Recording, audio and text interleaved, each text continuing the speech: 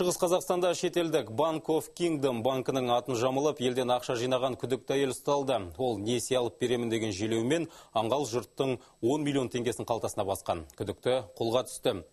Алайда оның шетелді қаржы ұйымдарымен ешқандай байланысы жоқ болып шықты. Бірақ алданып қалған салымшылар ақшаларын қайтарып ала алмай жүр. Қуаныш Ғабдуллин толықтырады. Шетелдік банктың жалған өкілдігі өскемендегі мына кішкентай кеңседе жұмыс істеп келген. Алданып қалған жұрттың арыздарынан кейін полиция оларға ескертусіз келіп тінту жасады. Мекеменің басшысы әуелі өзіне тағылған күдікті мойындағысы келмеді. написали, да, с целью хищения имущества у граждан, да, в крупном размере. Я что, кого обманула или что? Вы мне просто объясните и скажите. Осыдан кейін полиция мекеменің барлық есеп құжаттарын тексерді. Халықтан жиналған ақшаның тізімі жазылған бірнеше дәптерлер тәркіленді. Сонымен бірге шетелдік банктың жасанды банкомат карталары табылды. Күдікті тұрғындарды пайсыз несие дәл осы картаға түседі деп алдап отырған. Жұртпен келісім шартқа отырып, жеке тұлғалардан 75 мың, заңды тұлғалардан 180 мың теңге қаржы жинаған.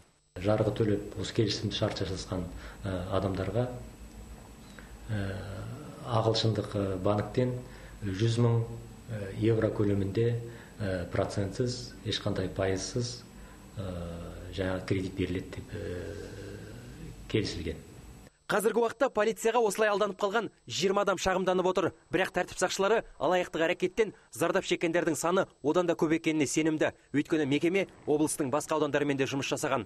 Қазір алданып қалған тұрғындар ақшасын қайтара алмай сандарын соғып жүр. Солардың бірі экраннан түрін көрсетуге қарсы болды. посмотрел договор Маған пайызсыз несие беріліп жатыр деп бір танысым айтты. Кеңсеге барғаннан кейін келісімшарт жасасып, қолыма банкомат картасын берді. Жуықта осыған ақша түседі деп айтты. Менен жарна ретінде 75 мың теңге алып алды. Енді ақша да жоқ, несие де жоқ. Сарапшылардың пікірінше соңғы жылдары Қазақстанда осындай жалған мекемелерден 4 мыңнан астам адам зардап шегіпті. Сондықтан мамандар қаржы мәселесіне келгенде кез келген адам заңның қарапайым тармақтарын білуі тиіс дейді. Старое английское выражение, что бесплатный сыр бывает адамдар аз ақша салып көп пайда түсірем деп ойлайды ағылшынның тегін ірімшік тек қақпанда болады деген сөзі тегін айтылмаған сондықтан бұл жағдай біздің тұрғындардың сауатсыздығы мен білімсіздігін көрсетеді Қазіргі уақытта полиция қылмыстық іс қозғап, алдын ала тергеу жүргізіп жатыр. Тәртіп сақшылары сонымен бірге күдіктінің алдауына түсіп қалған басқа да тұрғындарды іздестіруде. Қуаныш Ғабдуллин Қамбар Керейбаев, жетінші арна, Шығыс Қазақстан облысынан.